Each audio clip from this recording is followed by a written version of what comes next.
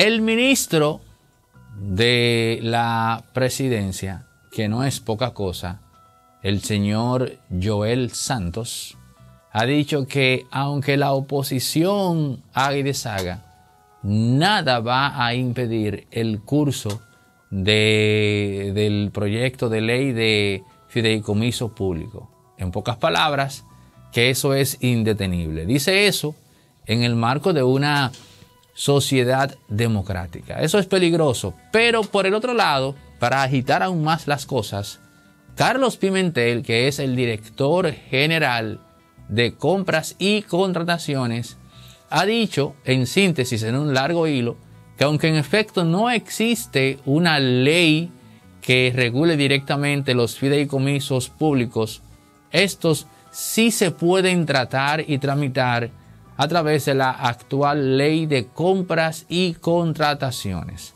¿Qué es lo que tenemos aquí en estas dos declaraciones? Tenemos fuego cruzado.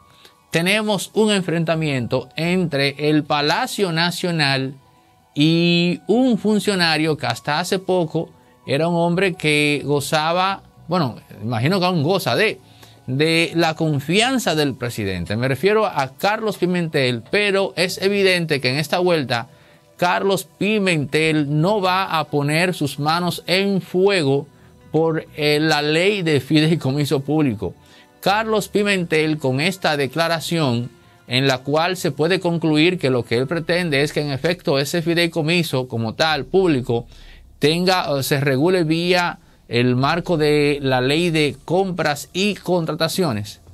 Eso es lo que él pretende. Dice, bueno, ley no habrá para eso por ahora, pero la actual ley de compras y contrataciones tiene que regular, tiene que estar metida en el tema de los fideicomisos. Y eso, de cara a lo que acaba de decir el ministro de la presidencia, que si usted lo toma, eh, digamos, de manera literal, entonces tiene que decirse que Carlos Pimentel le está pichando el juego a la oposición, porque miren qué casualidad, que lo que quiere el empresariado precisamente es hacer negocios con el Estado sin tener que pasar por el filtro de la ley de compras y contrataciones.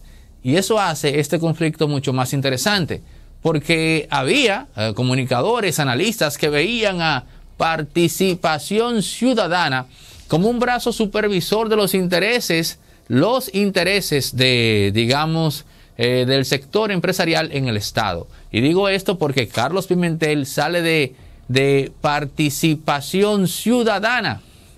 Pero esto lo que viene a demostrar es que participación ciudadana ni obedece a los partidos políticos, ni obedece al sector empresarial, aunque sí obedece a un sector, que eso lo podríamos revelar en otro capítulo de esta plataforma. Entonces, tenemos fuego cruzado, señores.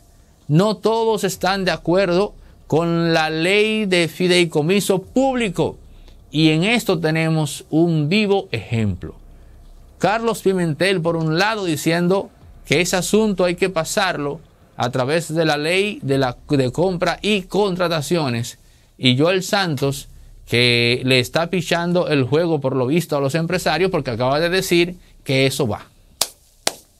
Y yo no sé, y aquí tenemos que, tenemos que, digamos, calmarnos un poco, porque ya con el tema Punta Catalina, los empresarios casi meten al medio al presidente.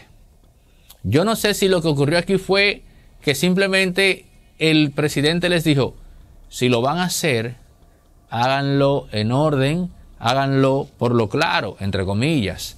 Pero no podemos hacerlo como se pretendió hacer el tema aquel de Punta Catalina, en donde la popularidad del mandatario se vio afectada porque se le vio simplemente como un muchacho demandado del sector privado que maneja el tema de la generación eléctrica en el país. Entonces, no hay acuerdo, no hay consenso dentro del gobierno con la ley de fideicomiso público. Y eso es revelador. Eso ha de preocuparnos. Ya en un capítulo anterior expliqué por dónde van los tiros y qué es lo que quieren los empresarios en verdad. Si usted no ha visto ese capítulo, vaya y véalo, porque les puedo decir que es, digamos, el único comentario en el cual se dice los empresarios dominicanos andan buscando esto. Pero en lo que el hacha va y viene, ya tenemos a dos funcionarios del gobierno.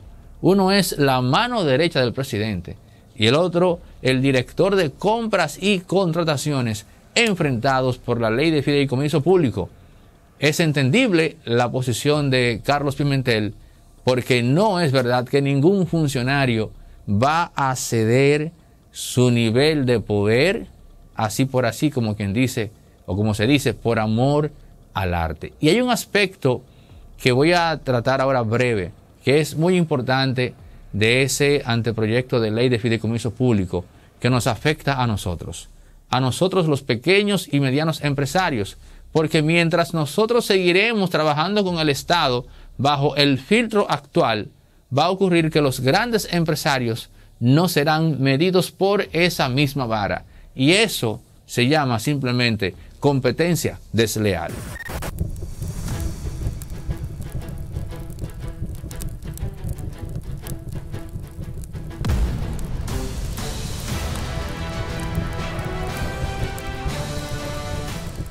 Farmacia Medicar GBC es la farmacia de los dominicanos, abierta de lunes a domingo y con los medicamentos de la hipertensión y la diabetes a un 30% de descuento, amén del descuento en sus medicamentos normales de un 20%. Farmacia Medicar GBC, la de nosotros los dominicanos.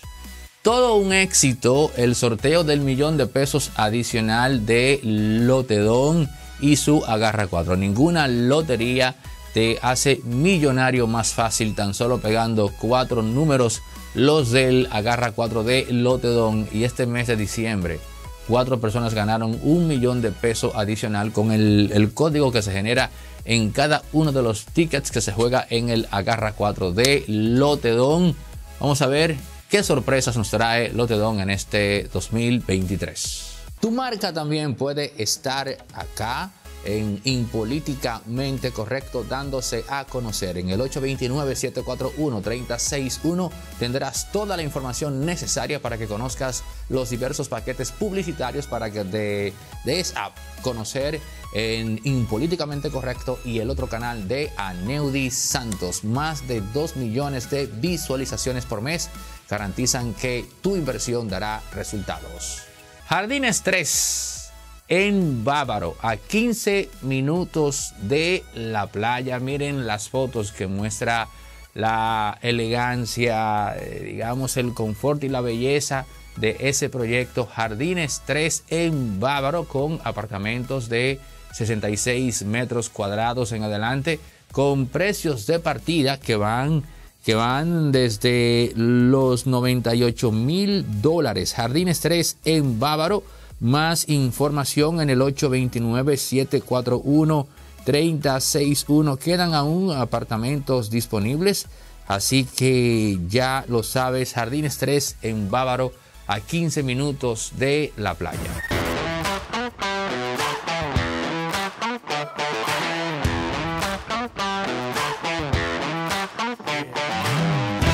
El colega Vladimir Jaques hace una entrevista sumamente interesante a un tal Western Paul que era un estafador brujo o un brujo estafador que actualmente es, eh, digamos, cristiano, se arrepintió, etc. Y buscó los caminos del Señor, como se dice. Pero en esa entrevista, él habló de las tantas formas o maneras en las cuales los brujos, con trucos de magia, engañan a la gente. Y dijo, o al dominicano más bien, y dijo algo para mí digamos, revelador Dijo, al dominicano le encanta ser engañado.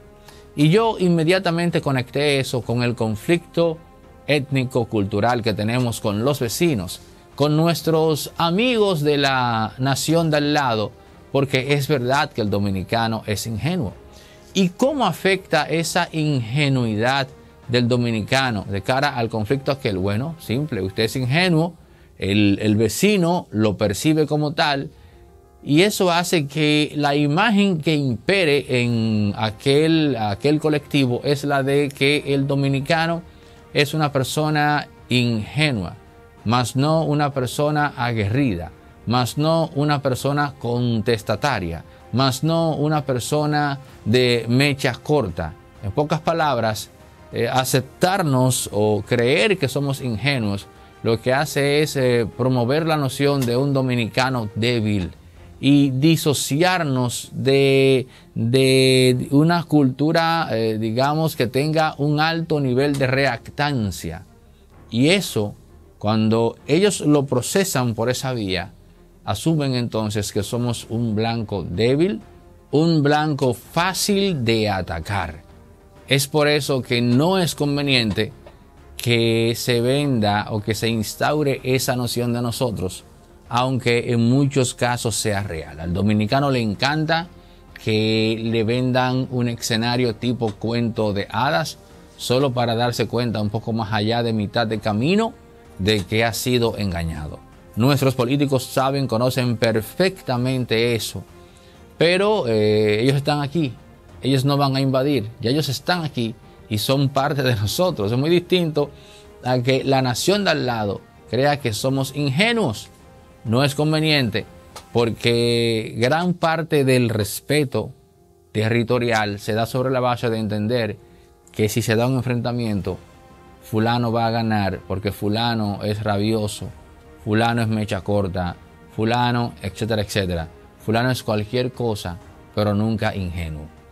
Ojo con eso, aunque me temo que en gran parte es la realidad, estos brujos tienen éxito porque explotan, capitalizan ese gran nivel de ingenuidad que en efecto tiene el dominicano. Lamentablemente, eh, olvidarán algunos que ese nivel de ingenuidad puede coexistir, puede estar paralelo en un mismo ser humano a una, a una actitud quisquillosa, a una actitud de que si tú, de que si tú pretendes irrespetar mi patria, vas a obtener un resultado no muy, no muy, digamos, agradable que se pueda decir. Lamentablemente, también eso es parte de lo que se necesita para protegernos de los demás. Los demás son solo, no, no son solo los vecinos. Los demás pueden ser también incluso una gran potencia como Estados Unidos, que recientemente trató de involucrarnos en un tema precisamente de cara a la vecina nación. Tenemos que darnos a respetar y ese respeto comienza por nosotros mismos. Y de cara a mantener ese respeto, conviene no vernos precisamente como eso, seres que les gusta ser engañados.